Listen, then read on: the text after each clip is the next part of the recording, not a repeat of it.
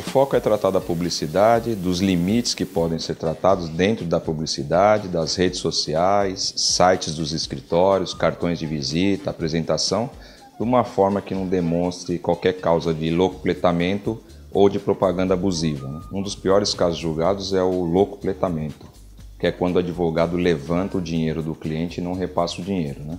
Sabendo que 90% das causas do tribunal hoje é o próprio cliente que nos denuncia.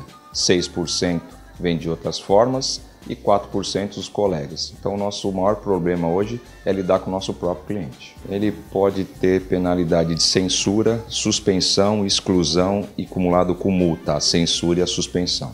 O que eu percebo é que realmente falta conhecimento quanto ao nosso estatuto da advocacia e nosso código de ética. Principalmente eu percebo isso nos julgamentos, onde o advogado vai se autodefender quando ele está respondendo processo no Tribunal de Ética e Disciplina, visto que ele desconhece da própria matéria, até pela tese de defesa às vezes alegada. Então, o que seria a nossa Bíblia na advocacia, que é um dos principais pilares da advocacia, a gente vê que o advogado não está preparado.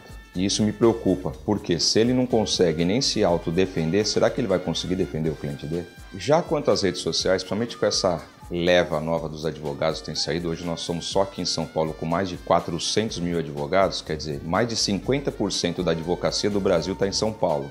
E hoje a coisa está muito digitalizada e informatizada. E o que eu tenho percebido, tanto é o desconhecimento dos advogados que hoje tem aproximadamente no Facebook 18 mil páginas com o símbolo da OAB sabendo que é proibido usar o símbolo da OAB, a não ser se você estiver exercendo o cargo ou função e dentro daquela função naquele ato.